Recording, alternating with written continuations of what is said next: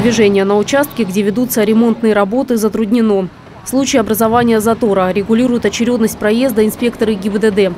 Под дорожным покрытием по улице Ефремова проходят трубы магистрального водовода. В ночь с 10 на 11 мая диспетчером Северо-Восточной водной управляющей компании поступило сообщение о том, что на асфальте проступает вода.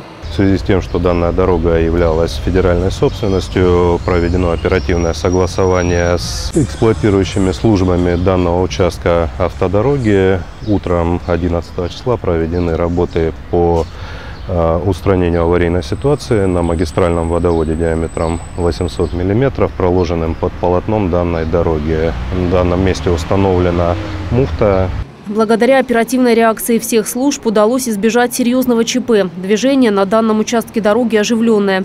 Если бы вовремя не поставили заграждение и не приступили к ликвидации порыва, мог бы произойти обвал асфальта, как это было по улице Энгельса.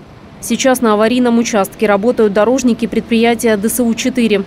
Территорию площадью порядка 80 квадратных метров обещают вернуть в надлежащее состояние уже к вечеру 14 мая. В данный момент мы подготавливаем основания Сейчас подготовим основание и будем готовить э, к асфальтоукладке. К сегодняшнему дню, я думаю, к часам 8 вечера мы уже подготовим основание и постелим асфальт. И 8 часов уже стабилизируется движение на этом участке. Подобных проблемных участков в городе более десятка. Водопроводные сети были построены в середине 80-х. Их изношенность, по словам специалистов, приближается к 70%.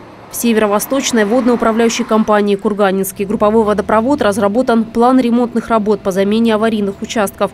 Регулярно ведется обследование дорог на предмет просадок грунта, причина которых – порыв трубопровода. Ирина Рухлятка, Евгений Холманских. Служба информации канала РЕН-ТВ. Армавир.